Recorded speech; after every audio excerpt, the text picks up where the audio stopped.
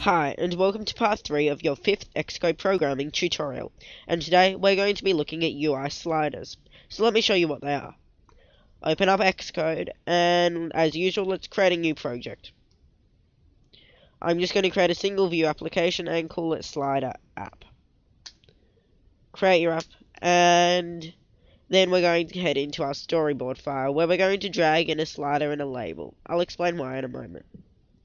So in your objects panel, find the slider. It's right next to the switch and the text field, and it's like the UI progress view. However, it has a thumb track in the middle so the user can actually adjust the value of the slider.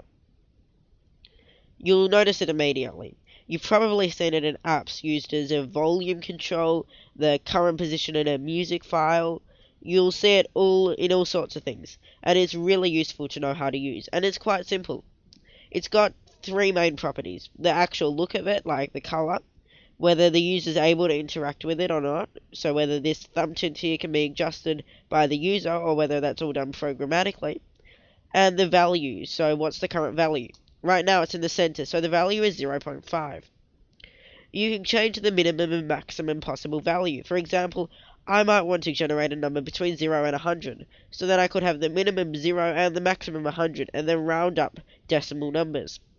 Let me show you what that would look like. So type in for maximum 100, and the current, let's make it 50, right in the middle.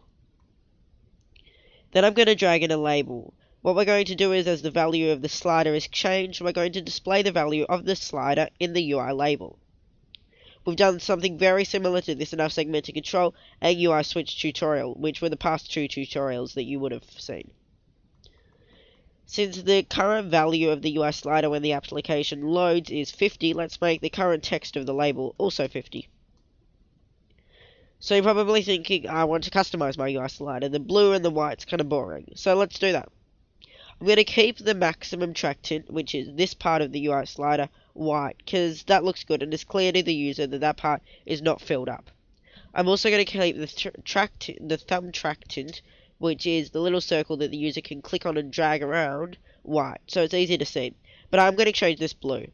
So in the side, under the slider menu in the properties viewer, let's change minimum track tint to yellow. You can change it to whatever you want. Then open up your assistant editor. I'm going to click on our slider and right click and drag. But you'll notice we've forgotten to do something. We need to put a curly bracket after the add interface line just so that our IB outlet works as we want it to. We want it to be an outlet, a UI slider, and the storage type strong. I'm going to call mine slider. Then we need to create an outlet for the UI label, so let's do the same thing, except make sure the type is label, and I'm going to call it label. Then, again, we're going to right click on our UI slider and drag it underneath the curly bracket. Select the connection to be action and the event value changed. Make sure the event is value changed. Type ID, argument sender, and I'll call it slider changed. Let me explain why we've done all of this.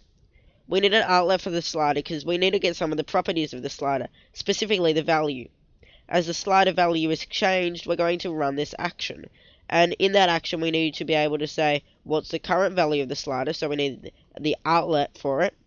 And we need to change the label's text, therefore we have an outlet for the label. So now we can go into our viewcontroller.m file and start adding in some code. Inside our slider change method, we need to set up label.text equals square brackets ns string string with format, and then leave that blue box, close this square brackets, and put a semicolon. Let me explain why we've done that. Normally we'll type label.text equals at talking mark talking mark and type the text we want. But in this case we don't want to just display some set text. We need to display text and a number. The number's different to text. There's a few types of variables, but the main two are numbers and text. So a label has to have text, so we need to convert the number into text and we need to display it alongside some other text. So we could type in here at talking mark talking mark and then current value and then put the current value in. I'll show you how to do that in a moment. But for now, let's just put the value. Type percentage F, and then after the talking mark, press comma, and then slider dot value. The reason it's percentage F is because the value slider returns is a float. Numbers can be returned in various ways. It could be an integer, which is a whole number, so 1, 2, 3, no decimals. But since a slider can have a decimal value, it's a float. You don't really need to worry about what that means. And if you ever don't know what percentage to put inside here, in this case percentage F, just type percentage and then, for example, D. If you you'll then get a warning saying that the type is invalid because that's a float and percentage D indicates an integer, and so you'll get an automatic fix it replace statement.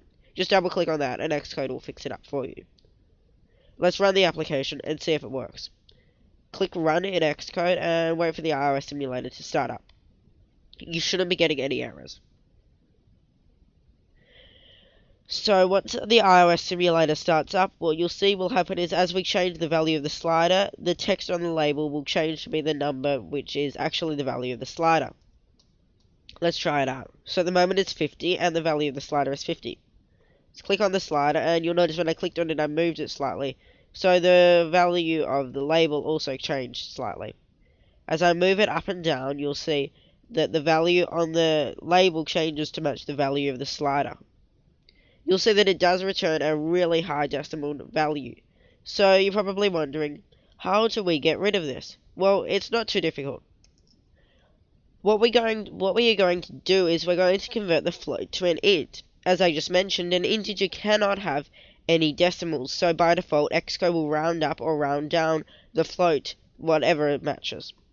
So we need to change this code a bit. Let's delete this line of code here, and I'll zoom in, and we need to create a float we'll call it float and we'll call it the value float. And then type equals slider dot value. Semicolon. We're just creating a float of the slider's value. Then we need to create our int. So type int value int equals and then we do brackets int close brackets value float. Semicolon. So that's converted this float here to an integer then we're going to display the int in the label. So type label.text equals ns string string with format as we did before. But instead of doing percentage f, we're going to do percentage d, which is the formatting we use for an integer, and then type value int. Close the square brackets and put a semicolon. In case that wasn't clear, what percentage d does is it means that we can then display an int. If we wanted to display the float, we do percentage f. Let's run that application now. Stop the current build, obviously. And hopefully what will happen is the number will round to the nearest whole number. As you can see, it now does. And we've got a whole number, which is much neater. There are ways, if you want just one or two decimal places instead of four, to do that and just google it and I will do a tutorial later on on how to do that but for now I'm not going to include that in this tutorial. So as you can see we can easily adjust the value of our slider and it'll round it to a whole number as sliders no matter what have to be a float because they have to have decimal places. Say we wanted to just return a number between 1 and a thousand instead of 1 and a hundred we just change the maximum to a thousand. We run the application now Let's click stop. You'll notice the slider is no longer in the middle because the current value is still 50. And 50th, 1 50th of a thousand is quite small. And you'll notice I can now go all the way up to a thousand.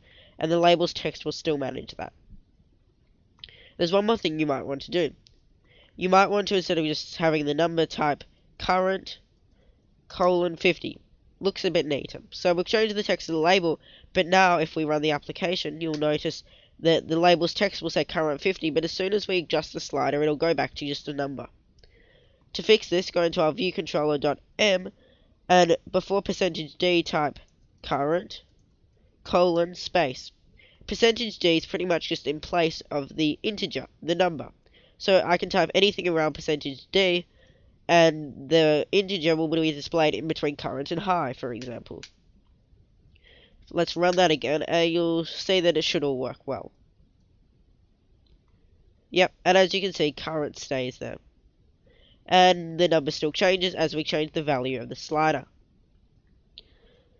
So you might want to use a slider for various things, and you might not want the value of the slider to be rounded to the nearest whole number, in which case, just delete the int value int. Let's just delete label.text, and from here, you've got these two variables that you can use in your own application.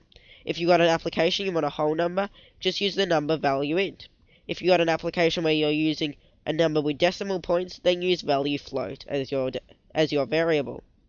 I hope you enjoyed this tutorial. So if you got any questions, message us on YouTube, check us out on Facebook, or visit our website, 99centsappdevelopment.com. The link's in the description. I hope you've enjoyed this tutorial, and be sure to like and subscribe. See you next time.